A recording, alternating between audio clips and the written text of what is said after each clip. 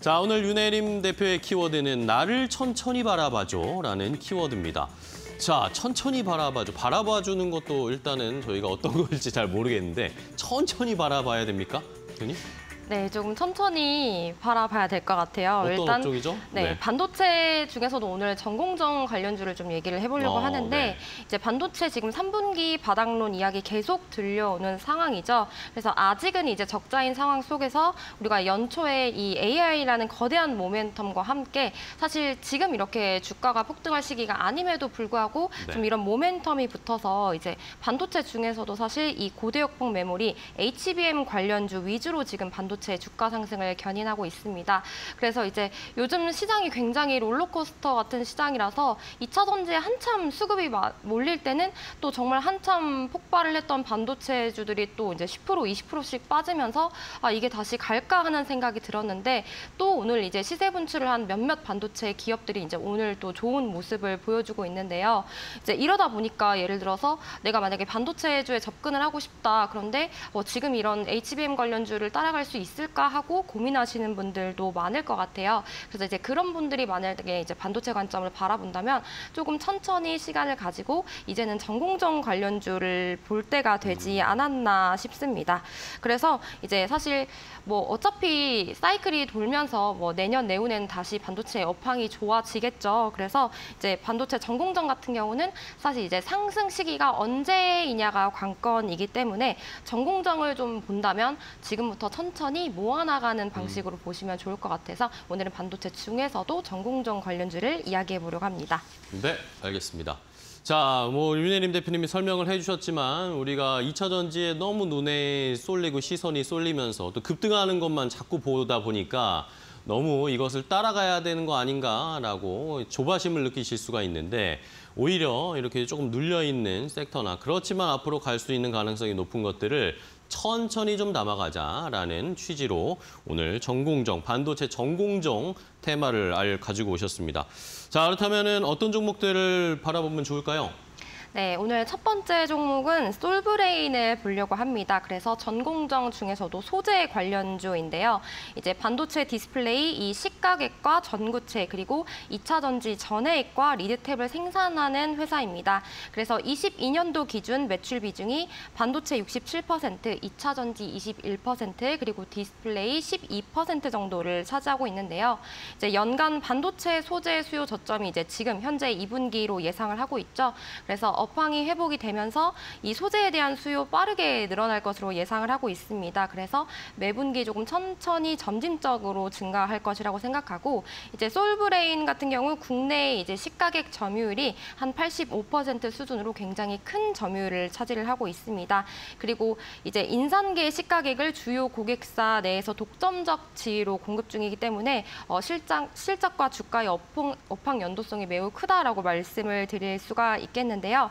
이제 이 메모리 업황 사이클에 따른 실적 변동성이 크게 이제 둔화됨을 의미하기 때문에 이제 이런 부분 긍정적인 요소로 보고 조금 천천히 봐주셨으면 좋겠고 사실 최근에도 정말 천천히 계속 상승을 하고 있습니다. 네네. 어, 그래서 만약에 이제 솔브레인을 좀 모아나가는 관점으로 본다면 이제 한 23만 원 정도가 사실 이제 매수하기 좋은 가격인데 지금 많이 오른 상태에서 그래서 이제 뭐 24만 5천 원 부근 그리고 이제 26만 원까지 조금 분할 매수가 적인 관점으로 접근을 하시고 이렇게 모아나가는 추세에서 한 최소 30만 원까지는 조금 상승을 할 수 있는 여력이 있기 때문에 솔브레인을 먼저 보시는 것도 도움이 되겠습니다. 알겠습니다. 솔브레인 종목 하나 체크를 해봤고요. 하나 더 소개해 주실까요? 네, 이제는 솔브레인을 좀 모아나가는 관점이면 최근에 조금 시세가 나왔던 종목을 보려고 합니다. 이제 두 번째는 에스앤에스텍을 보려고 하는데요. 최근 어, 주가가 굉장히 많이 올랐다가 지금 많이 빠진 기업이죠. 그래서 노광 공정의 핵심 재료인 이 포토마스크의 원재료로서 이제 패턴이 노광이 되기 전에 마스크인 이 blank mask를 제조하고 판매하는 기업입니다.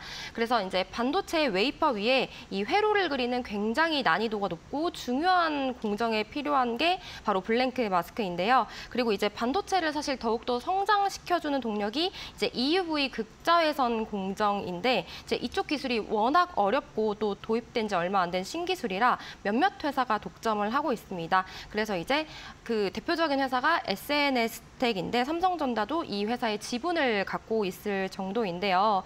그래서 이제 본격적인 이 EUV 시장 개화에 따른 이 소재 및 부품 업체 중에서도 가장 큰 수혜가 부각될 수 있기 때문에 지금 조금 빠지고 있는데 어, 이 기업 같은 경우도 반도체 업황에 이제 전체적으로 섹터의 시세가 들어온다면 다시 충분히 들어올릴 여력이 있어서 어, 이제 5일선의 방향이 앞으로 어떻게 돼가는지를 좀 보면서 같이 보시면 다시 전고점 이상으로 가지 않을까 싶습니다. 네, 알겠습니다. 자, SNS텍까지 두 가지 반도체 전공정 어, 분야의 종목들을 두 개 소개를 받아봤습니다. 솔브레인과 SNS텍 함께 체크해봤고요. 자, 그럼 이 키워드 나를 천천히 바라봐줘라는 키워드를 저희가 반종민 소장님께도 함께 공유를 드렸는데 소장님은 이거 보고 어떤 종목을 떠올리셨나요? 어, 사실 반도체에 따른 이슈는 계속 좀 있을 것 같아서 저도 좀 눈여겨봤는데요. 어, 제가 본 종목은 바로 원익 IPS입니다. 네. 이 원익 IPS는 그 반도체 제조용 그 장비를 만드는 기업이다라는 말씀 드리겠고요. 특히 이제 삼성전자의 핵심 장비를 좀 공급하고 있는 업체다라는 말씀 드립니다. 근데 이제 좀 특이점이 있다면은 네. 그 주요 주주 지분이 그 삼성전자가 있고 또한 이제 삼성 디스플레이도 지분을 보유하고 있기 때문에 동시에 수혜를 받을 가능성이 좀 매우 높지 않을까라고 좀 판단을 해서 계속 좀 주목을 해봐야 될 것으로 전망이 되고 있고요.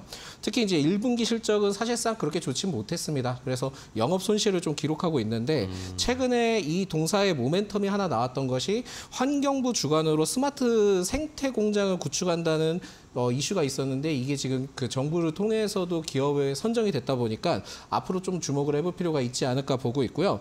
특히 이제 삼성전자의 평택 상공장의 그 장비 반입 효과를 통한 좀 이번에는 좀 회복 가능성을 좀 점치고 있기는 하지만 아마 실적은 그렇게 그 크게 그 부각받지는 못할 가능성이 매우 높을 겁니다. 그러다 보니까 결국은 이제 삼성전자와 SK 하이, 하이닉스처럼 업황 개선에 따른 기대감을 계속 좀 받아가면서 이 원익 IPS도 흘러가지 않을까라고 좀 전망하고 있기 때문에 제가 봤을 때는 중장기적 관점으로 계속 좀 모아가시는 전략이 좀 필요하지 않을까라고 보고 있습니다.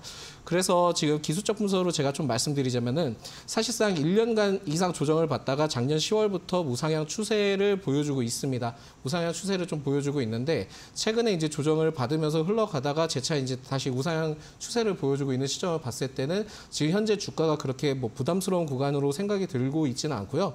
기관과 외인의 순매수세가 계속 들어와주는 바- 부분들을 봤을 때는 제가 보기엔 지금 한 3만 4천 원 정도 되지만은 제가 보기엔 어, 장기적으로는 4만 원까지도 갈 수 있는 여력이 충분하지 않을까 보고 있고 아래쪽에 좀 지지 구간을 든든하게 좀 받쳐주면서 만들어가고 있기 때문에 아마 좀 기대를 해볼 수 있지 않을까 보고 있습니다. 그리고 이 기업에 대해서는 지금 인수와 관련된 이슈도 좀 어느 정도 나오고 있는데 자세한 내용이 확실하게 나오지 않았기 때문에 이 부분들은 나중에 좀 어느 정도 나오게 된다 하면은 그 나왔을 때 굉장히 좀 크게 부각받을 가능성도 높을 것이다라는 말씀을 드리겠습니다. 네, 알겠습니다. 자, 이렇게 반도체 전공정 관련해서 세 가지 종목을 확인을 해봤습니다. 그리고 반 소장님은 원익 IPS를 소개를 해주셨으니까 이런 종목들 저희가 좋은 자리에서 잡을 수 있도록 그리고 차곡차곡 좀 모아갈 수 있도록 전략을 잘 세우시면 좋을 것 같습니다. 자, 그럼 마지막으로 윤혜림 대표님께 간단하게 질문을 하나 더 드리면 자, 일단은 뭐 오늘 반도체 천천히 모아가자라는 전략을 소개를 해 주시기는 하셨는데 사실 지금 어제의 이 충격이 개인 투자자분들께 이게 심상치 않은 상황이잖아요. 그래서 2차 전지 관련 종목들 혹시라도 어제 어, 접근하셨던 분들은 어떻게 대응을 하셔야 할지 간단한 조언을 부탁드리겠습니다. 사실 이 조언과 예측이 좀 어려운 부분이긴 하지만 네. 어, 뭐 예를 들어서 정말 어제 고점에서 잡았다라고 하는 경우는 아마 오늘 장 초반에 또 손절을 했거나 이런 경우가 굉장히 많을 것 같아요. 근데 하지만 이렇게 지금 폭락장이 온다고 해서 다시 2차 전지가 여기서 무너지는 게 아니라 어, 저는 또 다시 한 번쯤은 시세 분출을 하지 않을까 하는 생각이기 때문에 그렇다고 해서 이제 이걸 지켜보고 다시 또 에코프로 이제 급등한 에코프로나 뭐 에코프로 빔을 잡기보다는 이제 이제는 기존 보유자의 영역이라고 생각을 하고 만약에 내가 고점에서 잡았다라고 하면은 또 섣부른 손절을 하기보다는 좀 주가의 추이를 지켜보면서 추가 배수를 하면서 아직 네. 이 2차 전지가 그래도 올해 내에서는 계속 이슈가 있을 것 같기 때문에 네. 어, 손절보다는 조금 계속 주가 추이를 관찰을 하시는 게 좋을 것 같고 이제 신규로 만약에 접근을 한다면 이제 신규로 2차 전지를 접근하신 분들은 이제 2차 전지 중에서도 좀 분리막 관련주들을 같이 보시는 게 훨씬 더 도움이 되지 않을까 하는 생각이 듭니다.